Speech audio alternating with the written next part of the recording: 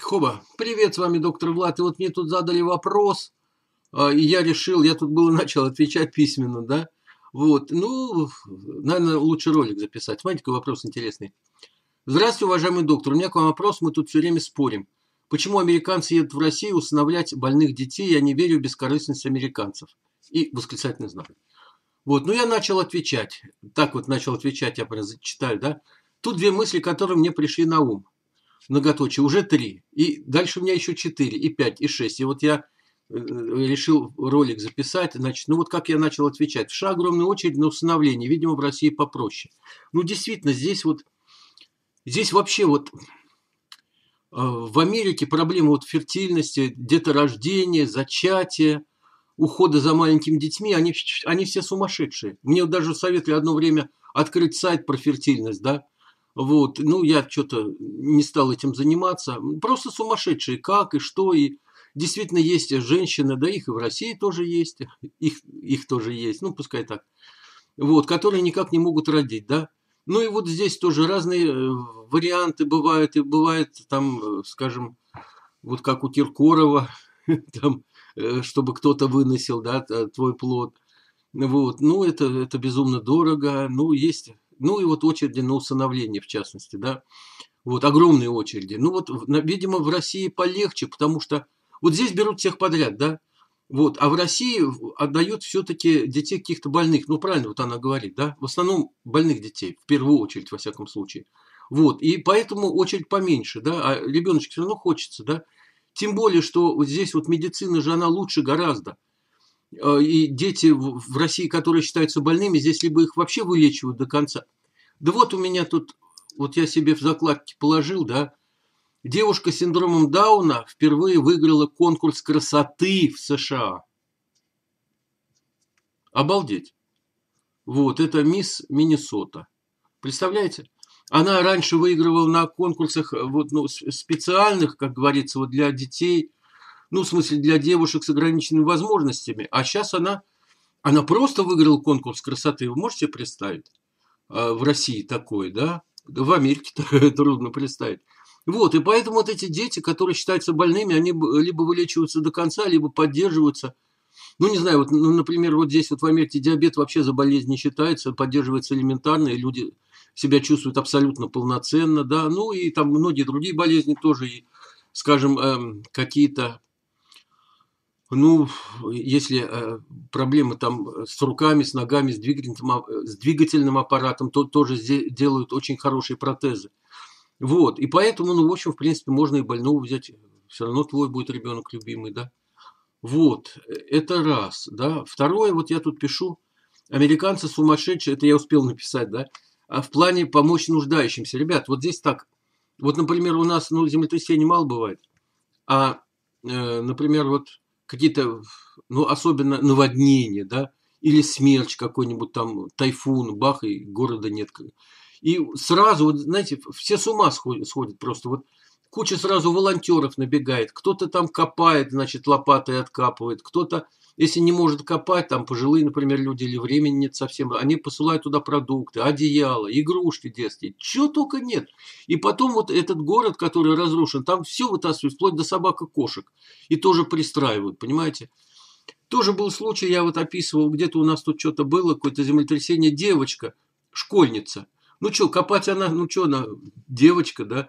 Вот, так, э, значит, продукты тоже, ну какие, она сама не зарабатывает, так она просто на углу встала и, значит, э, с плакатиком стоит, э, кому нужно, значит, объятие, хагс, да, называется. То в Америке вообще вот, ну, как-то это очень популярно. Да вы знаете, вот смотрите фильмы там, типа, не знаю, «Крепкого орешка» какого-нибудь, там в конце все обнимаются, ура, там мы победили и так далее. Здесь вот объятие это, это в порядке вещей вообще во всех штатах. Я знаю, в России это где-то там в Краснодаре, в южных районах, а здесь все обнимаются, кому не лень. И вот она просто предлагает свои объятия, ну, как прижать к сердцу, да, вот такое.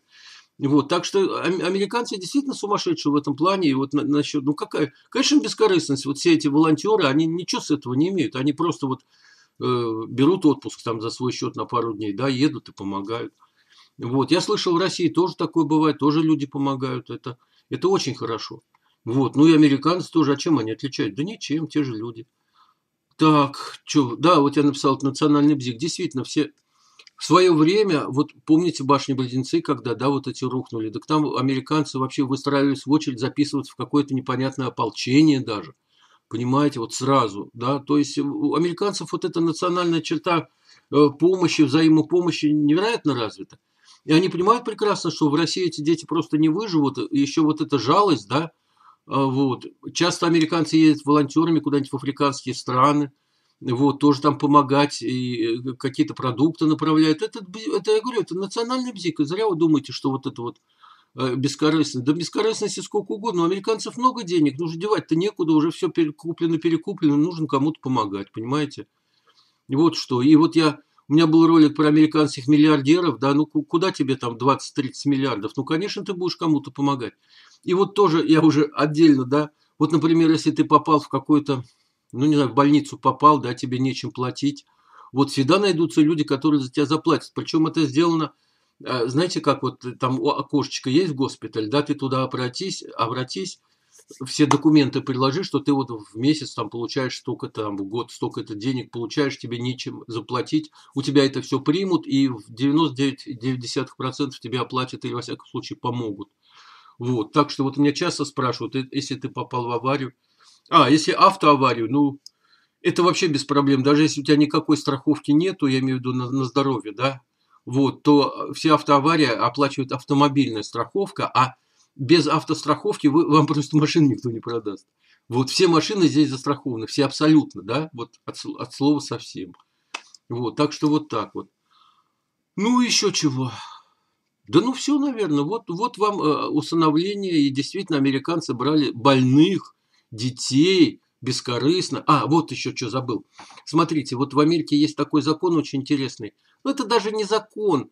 Просто, ну, все мы люди, да, и, конечно, среди всех честных американцев найдутся нечестные, которые попытаются на этом деле заработать. То есть усыновляешь ребенка, получаешь государственную помощь, да, вот здесь тоже есть государственная помощь, но она специально сделана минимальная, для того, чтобы не было соблазна брать детей и на этом зарабатывать, понимаете? И вот именно с этой целью, да, вот прям так и сказано, что чтобы не было у человека соблазна, то, значит, есть государственная помощь, но она небольшая совсем.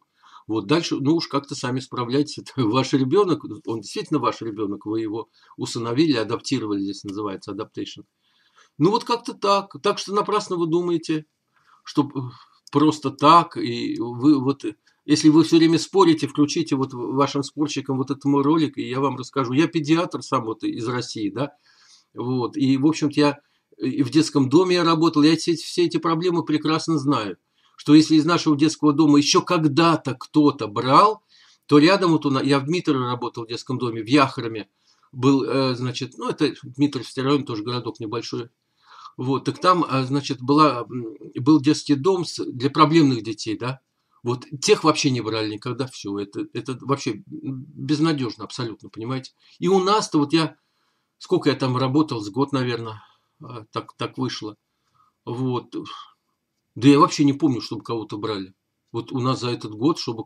Главное, интересно, когда я туда шел еще в форме, да, ну, я перед этим в армии служил, а туда мне предложили просто э, поработать с врачом там, да, вот, и я иду, и мальчишка встретил, мальчишка встретился, я у него спрашиваю, где детский дом? Он так на меня посмотрел, а вы что, хотите кого-то усыновить? Я так сразу понял, что это оттуда, пацан. Вот, ну, в общем, как-то так. Да, ни, никого нас не усыновляли, не удочеряли вот за этот год вообще. Какие-то документы были, да, документы готовили, и люди приезжали, ну, так, чтобы вот забрали, да, с, с песнями, как говорится, с оркестром. Да нет, не было ничего. Ну, вот так вот. Всего хорошего. До свидания. Надеюсь, я на вопрос ответил. С вами был доктор Влад.